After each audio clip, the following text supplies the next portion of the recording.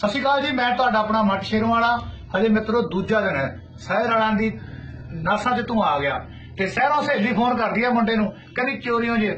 ਜੇ ਮੈਨੂੰ ਤੂੰ ਸਬਜ਼ੀ ਤੇ ਦੁੱਧ ਫੜਾ ਜਾਵੇਂ, ਉਹ ਦੋ ਬੋਲ, ਹਜੇ ਕੱਚਾ ਪਹਿਲਾ ਗਾਣਾ ਲਿਖਿਆ ਮੇਰਾ ਵੀਰ ਕੁਲਦੀਪ ਤੁਹਾਡਾ ਸਾਂਝੇ ਕਰੂਗਾ। ਉਹ ਫੇਸ ਤੋਂ ਗਲੋਈ ਉੱਡ ਗਈ ਆ ਲਾਲੀ ਦੇ, ਨਾਸੀ ਤੂੰ ਆ ਗਿਆ ਏ ਸ਼ਹਿਰ ਵਾਲੀ ਦੇ। ਫੇਸ ਤੋਂ ਗਲੋਈ ਉੱਡ ਗਈ ਆ ਲਾਲੀ ਦੇ, ਨਾਸੀ ਤੂੰ ਆ ਗਿਆ ਏ ਸ਼ਹਿਰ ਵਾਲੀ ਦੇ। ਕਹਿੰਦੀ ਪਹਿਲਾਂ ਟੋਮੀ ਸਾਡਾ ਖਾਂਦਾ ਸੀਗਾ, ਨਹੀਂ ਹੁਣ ਚਾਹ ਤੋਂ ਵੀ ਭੁੱਖਾ ਪਰਿਵਾਰ ਮਰਦਾ। ਸ਼ਹਿਰ ਆ ਕੇ, ਕਹਿੰਦੀ ਸ਼ਹਿਰ ਆ ਕੇ ਸਬਜ਼ੀ ਤੇ ਦੁੱਧ ਜੇ ਫੜਾ ਦੇ, ਫਿਰ ਮੰਨੂਗੀ ਕਿ ਮੈਨੂੰ ਸੱਚਾ ਪਿਆਰ ਕਰਦਾ। ਮੈਂ ਕਿਹਾ, ਸੌਰੀ ਮੇਰੀ ਜਾਨ, ਸੌਰੀ ਮੇਰੀ ਜਾਨ, ਮੇਰਾ ਪਿਓ ਵੀ ਕਿਸਾਨ ਤੇ ਗਦਾਰੀ ਨਹੀਂ ਕਿਸਾਨਾਂ ਨਾਲ ਯਾਰ ਕਰਦਾ। ਹੋ ਸੇਕ ਲੱਗੂ ਪਹਿਲਾਂ ਹਵਾ ਸੀਗੀ ਮਾਰਦੀ, ਹੁਣ ਕਦਰ ਕਰੂਗੀ ਜ਼ਿਮੀਂਦਾਰ ਦੀ। ਕੱਦੂ ਭਿੰਡੀਆਂ ਮਲਾਕ ਵਿੱਚ ਭਾਲਦੀ। ਪਹਿਲਾਂ ਦੇਖ ਕੇ ਸੀ ਨੱਕ ਬੁੱਲ ਝਾੜਦੀ ਉਹ ਪਹਿਲਾਂ ਨਾ ਪਹਿਲਾਂ ਸਾਨੂੰ ਮਿੱਟੀ ਨਾਲ ਲਿਬੜੇ ਜੇ ਆਖਦੀ ਸੀ।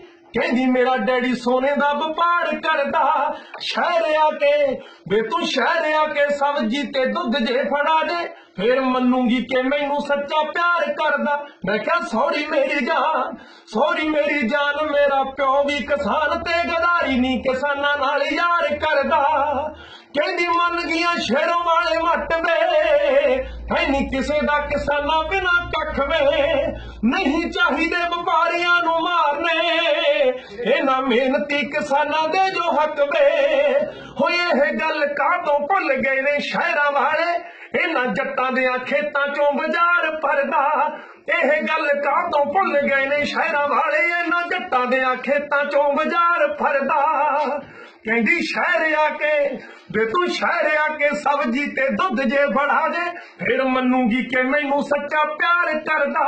ਮੈਂ ਕਿਹਾ ਸੌਰੀ ਮੇਰੀ ਜਾਨ ਸੌਰੀ ਮੇਰੀ ਜਾਨ ਮੇਰਾ ਪਿਓ ਵੀ ਕਿਸਾਨ ਤੇ ਗਦਾਰੀ ਨਹੀਂ ਕਿਸਾਨਾਂ ਨਾਲ ਯਾਰ ਕਰਦਾ। ਹੋ ਹਾਂਜੀ ਜੇ ਕਿਸਾਨਾਂ ਦੇ ਪੁੱਤੋਂ ਤਾਂ ਤੁਹਾਨੂੰ ਲੱਗਦਾ ਕਿ ਮਿਹਨਤਾਂ ਦਾ ਮੁੱਲ ਮਿਲਣਾ ਚਾਹੀਦਾ ਤਾਂ ਇਹ ਵੀਡੀਓ ਨੂੰ ਵੱਧ ਤੋਂ ਵੱਧ ਸ਼ੇਅਰ ਤੇ ਵੱਧ ਤੋਂ ਵੱਧ ਜੇ ਗੱਲਾਂ ਸੱਚੀਆਂ ਲੱਗੀਆਂ ਤਾਂ ਸ਼ੇਅਰ ਕਰੋ ਲਵ ਯੂ